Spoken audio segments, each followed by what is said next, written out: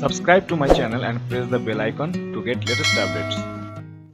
Hello friends, welcome to my channel Try Studio. In this video I am going to review Asus TUF Gaming FX505DT laptop. I have been using this laptop for 2 months and I hope I would be able to give a clear review of this laptop from my experience. Its design is very stylish and it has a gaming look. Its body is made of plastic but it has metal finishing. That's why it looks very elegant. Also these keys are backlit. The backlit LED keyboard makes it more stylish and elegant. Also you can change the color and style of the light through Asus Aura Sync app. Keyboard is very soft to type and you will get a very nice feeling while typing as this is a gaming laptop these four keys are marked separately. And also we have numeric keypad here but its placement is bit odd because the four arrow keys are here and one is above the arrow key but in normal numeric keyboard one should be here.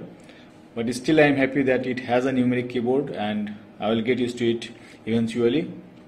We can control the screen brightness with these three keys also it has performance mode turbo mode silent mode to switch while gaming. You can mute the microphone volume up and down button and mute button. Now the best part about this laptop is that it is paired with Ryzen 5 3550H processor with NVIDIA GeForce GTX 1650 you will get good gaming experience. At high settings I get about 45 to 50 FPS while playing Shadow of the Tomb Raider then Far Cry New Dawn, Far Cry 5 though it heats up a bit during gaming to control the temperature rise of your CPU I would suggest you to lower your CPU performance state to 90% or 80% and this will significantly reduce your temperature increase while gaming take a look at the screen. The bezels are very thin that's why they are saying it is a nanos display. Only at the bottom part the bezel is very thick where the Asus branding is written. The most highlighting feature of this laptop is its 120 Hz display and take a look here it has very thin bezels. Its IPS LED 1080p display display quality is crisp and sharp. You will get a great gaming experience with this display. Also when you are watching movies you will get very good experience.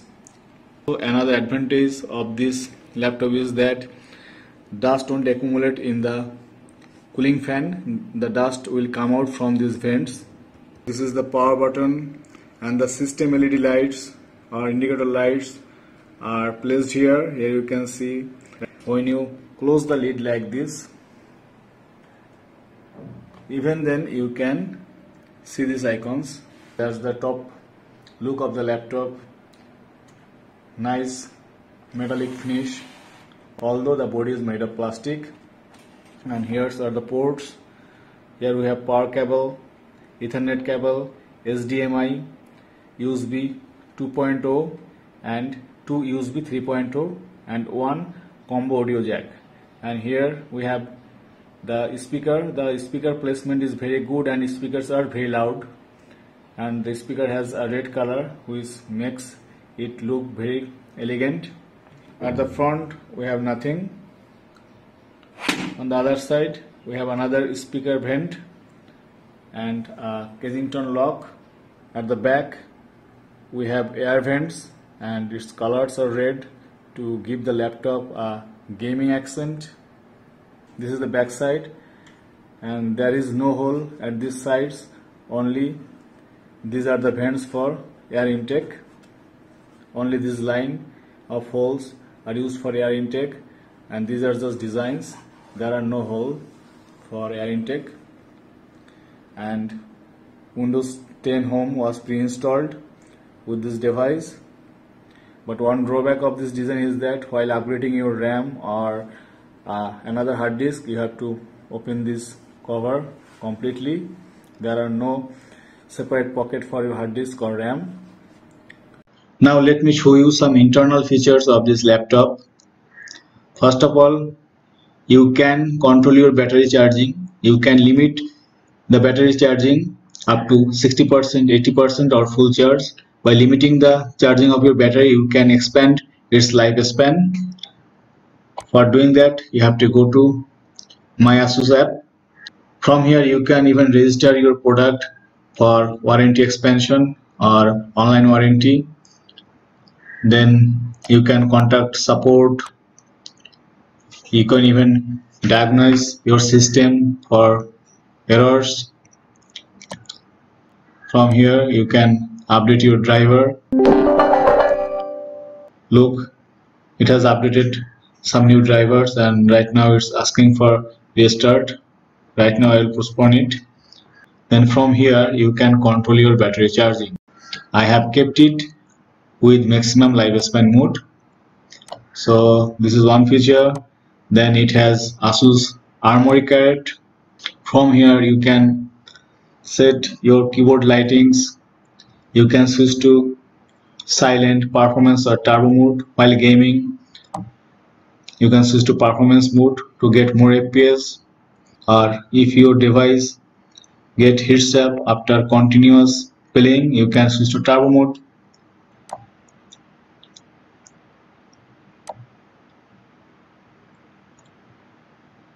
Here you can see the memory information. From here you can change the keyboard lightings I have put it on color cycle. That's why the LED colors are changing one after another.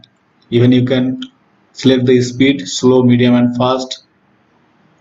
Also you can change the brightness level of the keyboard lights. Also we have game visuals. With the help of game visual we can set skin brightness and contrast to some preset settings.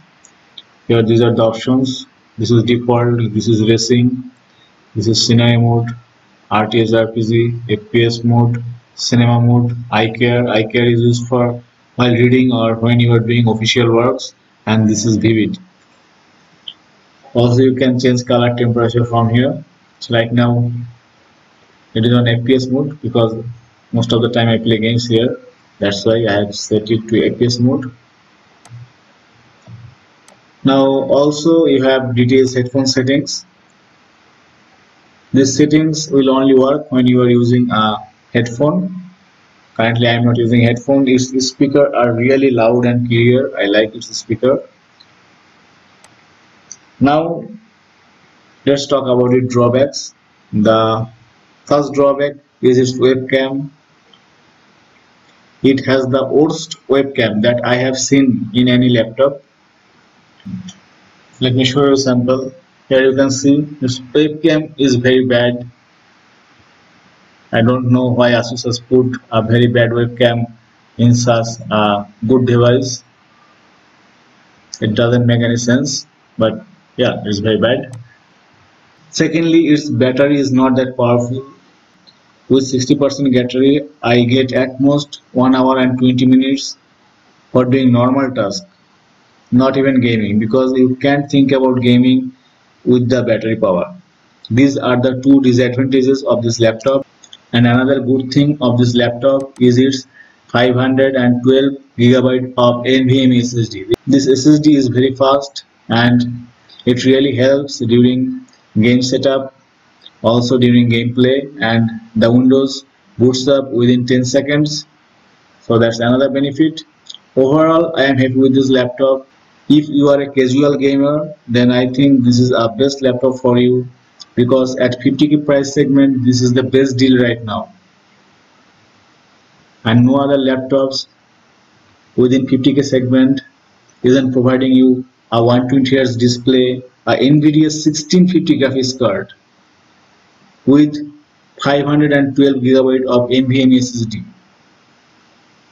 but one thing is that this Ryzen 5 processor is bit slow for this graphics card. I have found two games where the processor was bottlenecking the graphics card. So that might be a point of concern for you. But for me it's okay because I know because of this Ryzen 5 processor this laptop price is within the reach of most people. But if you are after Intel i5 processor then you have to pay about 60,000 for this same configuration. So that's it. I hope you find this video helpful. Thanks for watching and please subscribe to my channel for more videos like this. Have a great day